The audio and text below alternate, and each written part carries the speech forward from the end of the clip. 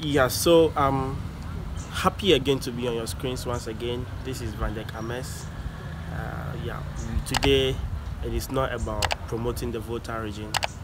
Today I am here to solicit for funds or solicit for your help to help a brother who is physically challenged and very determined to make it in life. He doesn't want to depend on anybody, but we need your help to make his dreams come to life.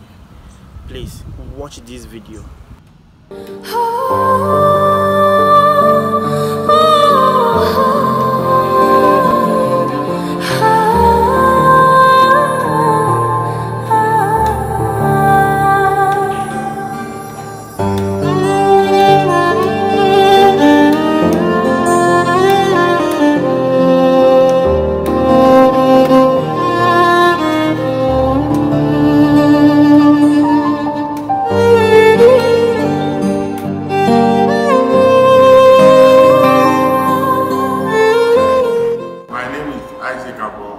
Student of Go Technical University from the Department of Computer Science. I'm a level 100 student and a physically challenged. I choose to do ICT because I realize that ICT is the only way for me to survive without uh, depending on anyone. I cannot go and do building technology or um, uh, food science fashion and design because ICT is, let me say, a practical aspect to me and then it, it's something that will make my mind uh, active and then make me um, realize that even being a physically challenged, that does not mean nothing good can come out of it. I choose to do ICT based on that. But when we came to school, the conditions on campus uh, are not favorable. And uh, sometimes moving from my hostel to lecture hall are stressful.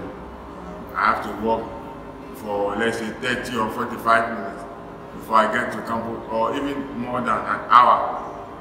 And when it rains, it's another thing altogether. Either I have to meet lectures or I have to beg colleagues who will help me.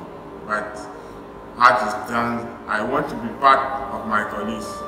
So I am pleading on um, organizations out there, NGOs, our MPs, and then various bodies who are responsible for helping people with my condition to come on board and help me to get um, an electronic project. I am building that they will come on board and help me and also some basic needs for the academic uh, improvement.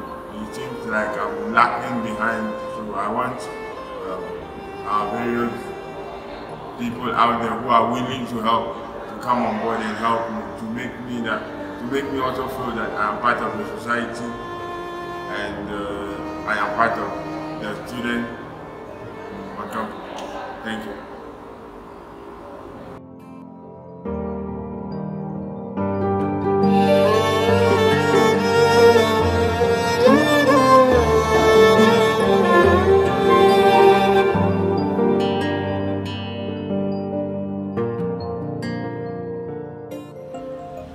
So I, I believe you have watched the video and have been touched so much um, from what you have heard and then what you have seen.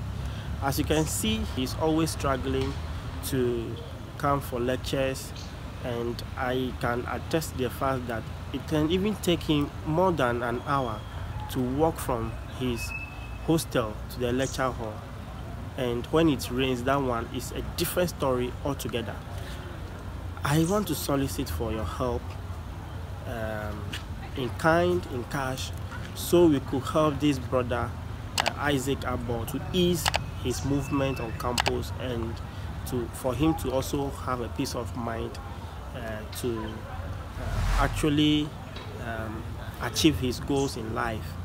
So please, nothing is small. Okay, please let's come on board and support a brother. Thank you very much.